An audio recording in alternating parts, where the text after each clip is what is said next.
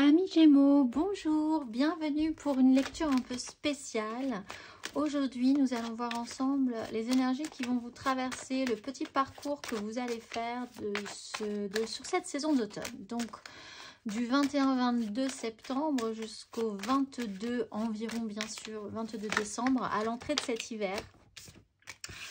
On va aller voir vos parcours, votre parcours, vos énergies, euh, l'aide, ce qui va vous aider, sur quoi vous allez pouvoir vous appuyer, euh, vous sécuriser, vous laisser porter vers les courants ascendants. Et puis, il des énergies un petit peu plus difficiles, un petit peu plus basses, donc euh, sur lesquelles vous pourriez faire un petit peu plus attention.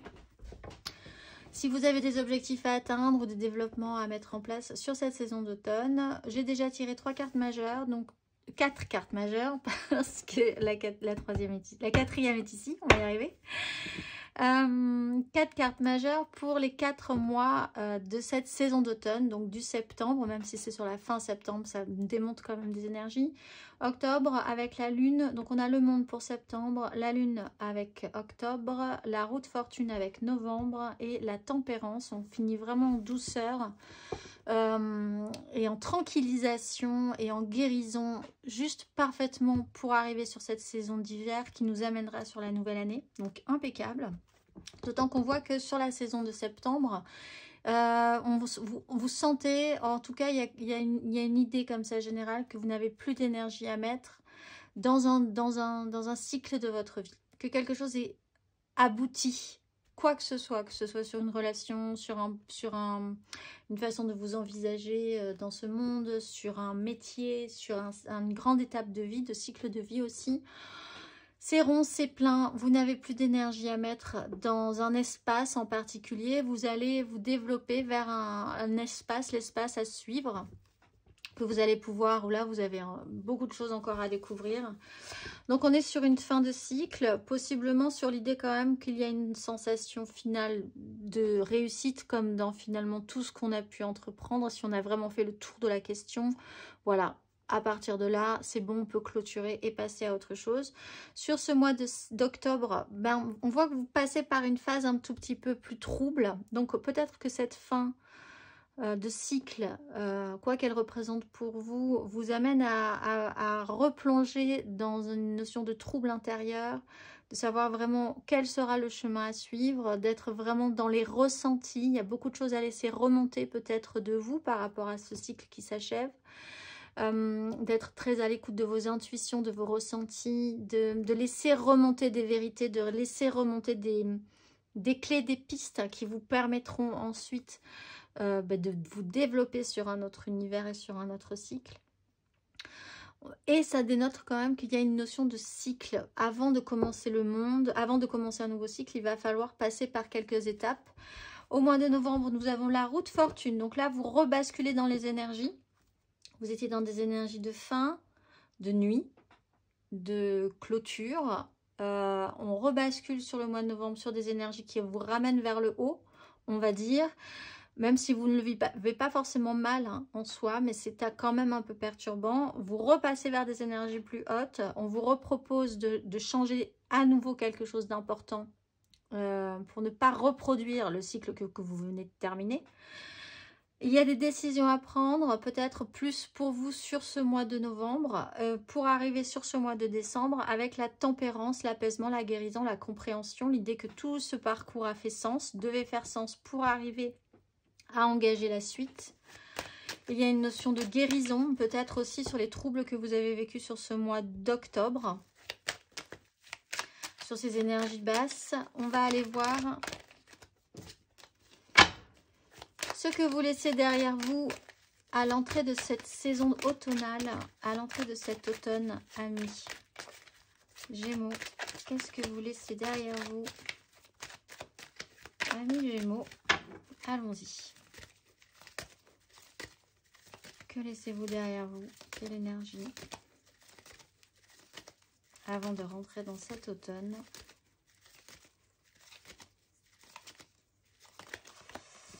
La 2 d'épée. Alors, vous laissez peut-être pour certains une notion de, de ne pas vouloir voir les choses, de ne pas vouloir voir peut-être cette fin de cycle, de ne pas vouloir voir ce qui va remonter vraiment de vous dans cette notion qui peut vous troubler, ça peut vraiment vous perturber.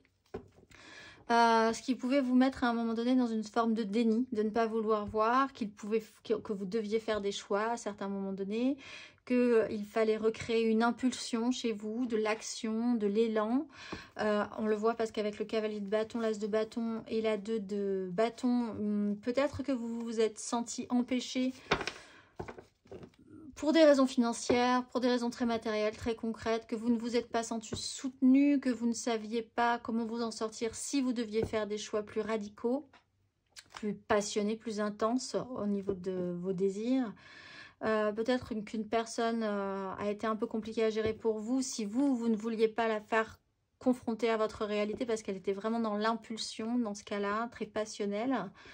Euh, il y a eu un moment, c'est ce que vous laissez derrière vous, où vous aviez la sensation que vous ne pouviez pas confronter votre réalité et, la réalité de quelqu'un d'autre ou la réalité de la vie, que vous n'aviez pas les moyens de prendre des décisions concrètes, réelles. Vous aviez peut-être à un moment donné un peu de difficulté à, voir, euh, à faire des projections à moyen ou à plus long terme, ce qui vous a laissé dans un statu quo pendant un certain moment.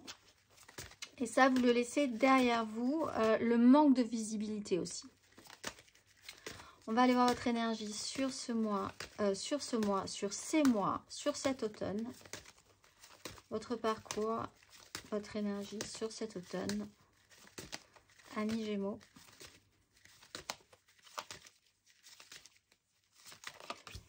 Cavalier de denier, donc effectivement, il y a une progression. Il y a ce petit moment un peu sérieux là, effectivement, euh, qui vient d'abord pour ensuite être un tout petit peu plus apaisant. On a un cavalier de bâton donc qui s'affirme, qui affirme beaucoup plus ses désirs. Mais pour ça, il faut mettre des choses en place, il faut valider chaque étape, il faut être prudent. Il faut euh, être sérieux sur cette évolution.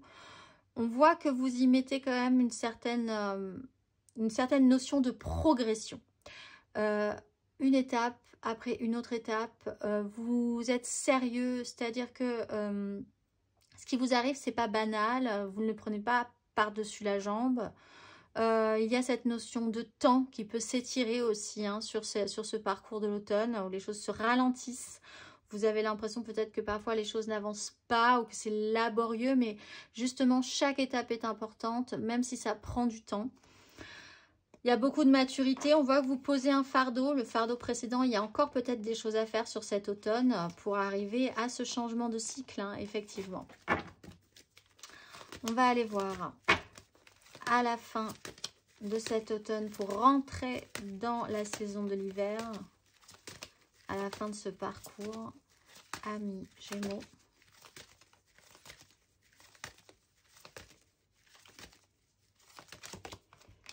6 de coupe.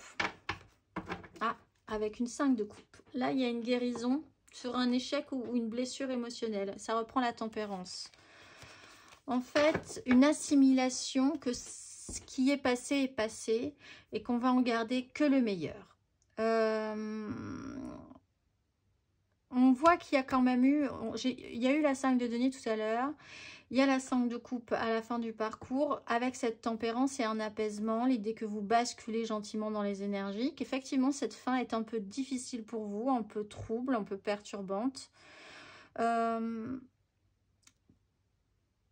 peut-être que vous conscientisez que ce parcours est terminé et que les blessures sont, apaisées, que euh, les troubles et la sensation d'échec aussi, je pense. Hein. vous, pouvez avoir une sensation d'échec quand même, ou un petit goût euh, du fait que les choses se sont peut-être pas, pas bien passées parce que euh, concrètement, matériellement, financièrement, il y a eu des soucis ou parce que, voilà, il peut y avoir une raison extérieure ou parce que vous n'avez pas demandé de l'aide à un moment donné ou parce que vous vous êtes pas senti soutenu à un moment donné, etc., etc. Là, on comprend des choses, on accepte aussi de passer à autre chose. Euh, peut-être sur une relation dans ce cas-là, on reviendra au côté pur de la relation, on épurera une relation euh, en laissant bah, les blessures, les, meurtrissures, les échecs, la culpabilité, l'idée que ça aurait pu se passer autrement. Tout ça c'est terminé, épuration des relations, guérison aussi au niveau de votre façon de voir le monde, vos nouveaux projets, ce qui vous attendra sur la suite. Il y a beaucoup plus de simplicité en ce cas. Aussi dans votre façon d'interagir émotionnellement avec les autres. d'être plus en connexion avec les personnes qui vous correspondent le mieux. Ça aussi, ça peut être extrêmement apaisant pour vous.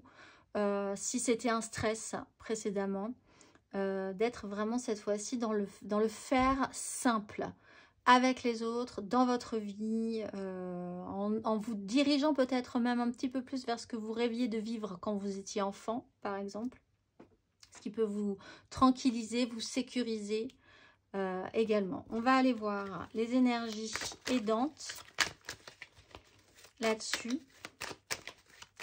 Pour certains, il y a une notion du passé qui doit se clôturer et c'est une progression qui est lente, qui vous demande quand même de passer par-dessus vos peurs, par-dessus euh, l'idée de rester dans un statu quo.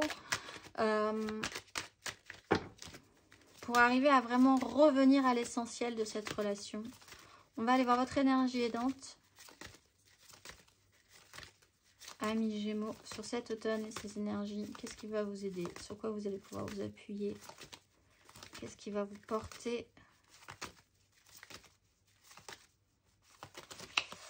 Cavalier de bâton, donc effectivement, peut-être... Ouais. Alors, euh, ce qui peut vous aider, c'est de l'impulsivité. c'est vos troubles. C'est ce que vous, ce qui vous fait réagir physiquement, littéralement peut-être, et que vous ne maîtrisez pas. Euh, vos pulsions, euh, vos besoins primaires, euh, ce qui peuvent être révélateurs de quelque chose aussi, un révélateur d'un besoin, hein, évidemment. Euh, c'est la sincérité. C'est aussi d'aller vers des gens qui vous poussent avec sincérité. C'est des gens qui sont passionnés. C'est vous-même de retrouver la passion dans ce que vous faites, dans ce que vous avez envie de faire. C'est euh, de ne pas hésiter si ça vous semble juste, si ça vous semble totalement important pour vous, pour votre chemin c'est de retrouver vraiment cette énergie vive, euh, que ce soit pas juste en face de vous, euh, chez les gens, les retrouver des gens passionnés, ou vous-même de retrouver cette passion, cet instinct, cette sincérité, cette pulsion à aller vers des choses qui, qui flamboient, qui sont positives, qui sont stimulantes. Euh, on voit avec le diable et, euh, la maison Dieu que vous, pouviez, vous pourriez vraiment traiter un sujet d'importance avec une forme de libération sur, pour certains, une addiction. Euh, donc d'y aller vraiment, d'arrêter d'être dans le déni, de clôturer ce chapitre, vous faire passer par une phase vraiment presque de nuit, de trouble, de, de, révélation physique, hein, si vous traitez avec une addiction physique par exemple, quelle qu'elle soit. Hein, euh, pour après repartir vers la guérison, il faut y aller, il faut se donner, il, faut, ne faut pas hésiter, il faut vraiment être conquérant et sincère dans cette lutte-là. Euh, il y a un système d'attachement qui peut être totalement déconstruit aussi et qui peut un petit peu vous perturber si c'est une fin de, relation, une fin dans, dans un travail ou dans un investissement dans lequel vous étiez. C'est un peu brutal, mais c'est extrêmement libérateur. Donc n'hésitez pas. On va aller voir votre énergie un petit peu plus basse pour vous, ce qui peut un peu vous tirer vers le bas pour cet automne, amis Gémeaux.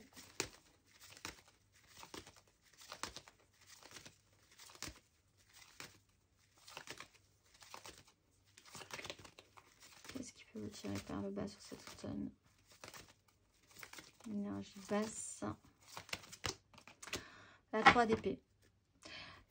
Bon, alors là, on a une 2 d'épée, on a une 3 d'épée. Vous laissez la 2 d'épée derrière vous. Par contre, il faut faire un choix. Si vous ne faites pas de choix, si vous ne décidez pas de vous lancer, d'avoir l'impulsion, d'affronter avec sérieux, impulsion et sérieux aussi, dans ce parcours, la vie va décider à votre place et la vie ne décidera pas ce que vous auriez secrètement espéré comme résultat. Donc, l'idée, c'est de se lancer sur ce mois d'automne. Si vous devez vous libérer ça ne parlera pas à tous les Gémeaux, mais il y a quand même cette notion de libération. Si vous devez vous libérer d'un lien, d'un attachement, d'un fonctionnement, d'une addiction, c'est une excellente saison pour le faire. Euh, ce qui peut vous tirer vers le bas, c'est que votre réalité aussi, ça peut, vous, ça peut vous stresser, ça peut vous angoisser. Votre réalité ne peut, pas, ne peut ne pas coller avec la réalité des autres ou d'une personne en particulier. Et cette, cette, constatation peut vous briser le cœur. Mais on voit aussi que c'est peut-être par cette constatation que vous allez pouvoir retravailler la relation pour la rendre plus simple aussi. Il y avait peut-être beaucoup d'attentes dans cette relation. Euh, vous transposiez beaucoup de choses dans cette relation ou dans cette personne.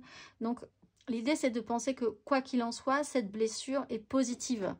Euh, cette, euh, cette réalité-là, qui ne colle pas avec la vôtre, au lieu de vous plomber, elle doit vous donner vraiment l'énergie pour faire bah, déjà, pour ne pas reproduire ces schémas-là, si vraiment c'est un schéma, on a aussi la roue de fortune, ça peut reparler quand même de cette notion de faire quelque chose de manière très systématique sur une problématique en particulier. Euh, mais vous poussez vers le haut, vous tirez vers le haut. Il y a des choses encore à travailler là-dessus. Justement, nous allons aller voir, pour ceux qui ont envie de travailler ces énergies, un oracle, l'oracle de la géométrie sacrée qui va nous donner un petit exercice pour ces énergies d'automne, pour vous, amis Gémeaux. On va aller voir. Amis Gémeaux, on va la choisir comme ça.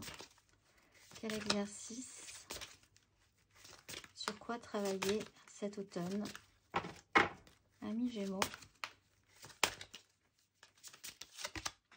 La tolérance et la terre. La fréquence de la tolérance nous invite à nous ouvrir à tout ce qui surgit sur notre route, sans jugement, sans opinion, sans peur et sans résistance. Quand nous sommes tolérants, l'univers devient notre partenaire dans la merveilleuse chorégraphie de la vie et de l'épanouissement. Je vais vous lire, je vous vérifie que la carte et vous la voyez bien. Et je vais vous lire l'exercice associé à la tolérance.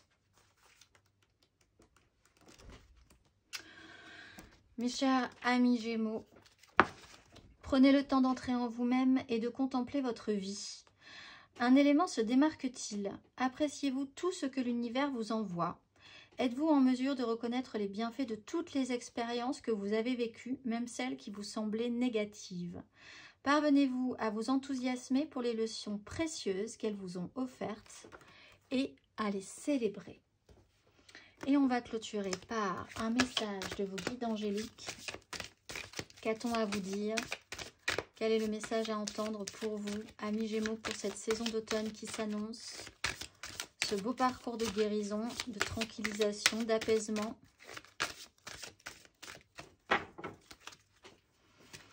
Quel message pour nos Gémeaux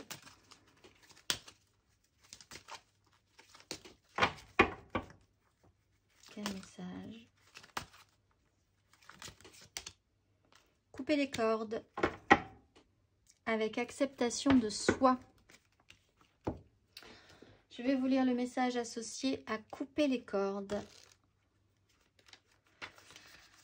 En spiritualité, les cordes sont les liens énergétiques qui nous relient à une situation, une personne ou un lieu. Il en existe différentes sortes, mais dans ce contexte, ce sont des connexions aux situations ou aux personnes qui ont sur nous un impact négatif et épuisant. Nous pouvons également créer une corde négative quand nous attendons des résultats d'une certaine situation, surtout quand elle échappe à notre contrôle. C'est donc un moment important pour que vous relâchiez tout attachement aux autres, aux situations, aux lieux, aux attentes ou tout ce qui pourrait limiter votre joie. Les anges vous enveloppent d'une lumière d'amour afin que vous vous détachiez en douceur d'une situation épuisante, dramatique ou nocive pour votre santé ou votre projet de vie. Si vous vous retrouvez pris au piège dans une situation que vous savez malsaine ou négative, la sagesse angélique vous encourage à demander l'aide dont vous avez besoin pour vous en libérer. Soyez sûr que les anges vous guident en ce moment pour abandonner votre besoin de diriger ou de contrôler afin que vous puissiez accueillir le soutien spirituel qui vous est offert. Quand vous priez vos anges de vous aider à couper les cordes, ils vous aident aussi à dissoudre les connexions qui vous retiennent dans une situation négative. Vous devrez également réaliser votre part en vous retirant des situations douloureuses et épuisantes. Si vous avez des questions concernant une situation, une relation ou un aboutissement, sachez que vous êtes guidé vers un nouveau chemin pour avancer, qui sera plus gratifiant et redynamisant pour vous. Finalement, couper les cordes est un acte de soin et d'amour pour soi. Tout est dit. Je vous souhaite un très bel automne, amis Gémeaux, et je vous dis à très vite.